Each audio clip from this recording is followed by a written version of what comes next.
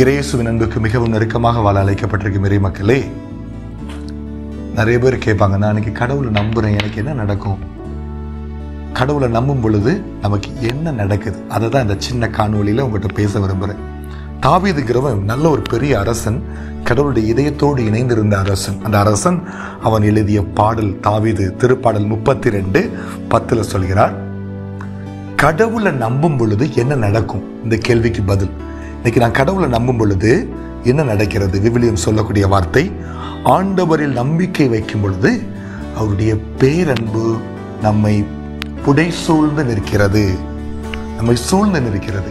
இன்னைக்கு ஒரு கஷ்டமோ ஒரு பிரச்சனையோ ஒரு சூழ்நிலையோ நீங்கள் கடவுளை நம்பும் பொழுது ஆண்டவரை நீங்கள் தான் எனக்கு வேணும். Jesus I trust in you உங்களை விட்டால் எனக்கு வேறு யாரும் கிடையாதுன்னு சொல்லி கடவுளை முழுக்க முழுக்க நம்பும் பொழுது ஒவ்வொரு நம்பிக்கை ஜபத்திலையும் நம்பிக்கை செயலிலையும் அவருடைய அன்பு உங்கள் பக்கத்தில் வந்து உங்களை சூழ்ந்து நிற்கிறது பாதுகாக்கக்கூடிய அன்பு காயங்களை ஆற்றக்கூடிய அன்பு உங்களுக்கு புதிதை செய்யக்கூடிய அன்பு அற்புதங்களை காண செய்யக்கூடிய அன்பு உங்களுக்காக உயிரையே கொடுத்த நேசர் இயேசுவின் சிலுவை அன்பு விவிலியம் சொல்லுகிறது.